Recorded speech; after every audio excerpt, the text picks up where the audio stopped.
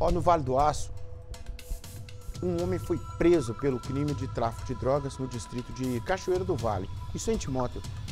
Quase 200 pedras de crack, 65 buchas de maconha.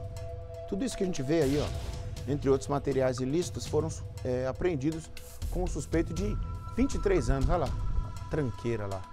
É. A Gisele tem detalhe desse caso. Conta pra gente aí, Gisele, sobre essa ocorrência. Nico, a Polícia Militar de Timóteo recebeu as informações de forma anônima, dando conta de que um jovem de 23 anos estaria comercializando drogas na rua João Pinheiro, no, no distrito de Cachoeira do Vale, em Timóteo. A polícia passou a monitorar este rapaz e, do, e foi possível constatar a veracidade das denúncias.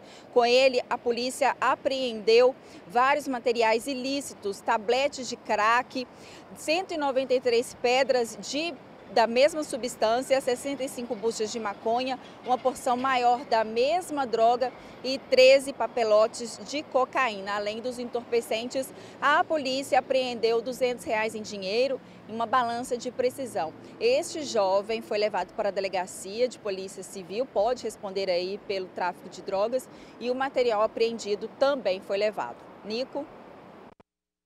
Para Timóteo, viu, Gisele? Obrigado, viu?